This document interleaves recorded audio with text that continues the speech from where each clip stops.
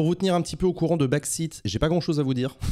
je souhaite qu'il y ait une saison 2 de Backseat. Vous le souhaitez aussi, je crois, de ce que vous m'avez dit tout l'été. Et merci d'ailleurs pour vos messages, ça m'a fait plaisir. Donc, donc je souhaite que ça se fasse. Le truc, donc j'y travaille, hein. je suis en train d'y travailler, mais euh, ça prend du temps, euh, ça fait intervenir beaucoup de gens. Donc euh, on prendra le temps qu'il faudra pour qu'il y ait une saison 2. Et je vous tiendrai au courant le jour où, le jour où ça arrivera, mais vous attendez pas à une reprise de Backseat en septembre, hein. il n'y aura pas en septembre. On est, en train de, on est en train de bosser avec des boîtes de prod, avec des, avec des partenaires, etc. pour donner naissance à une deuxième saison encore plus cool que la première. Les chroniqueurs sont chauds pour une saison 2 Oui, oui, oui, oui. Oui, les chroniqueurs, ils m'ont tous dit qu'ils étaient, ils étaient motivés pour une saison 2, ça c'est sûr. Bref, on y travaille.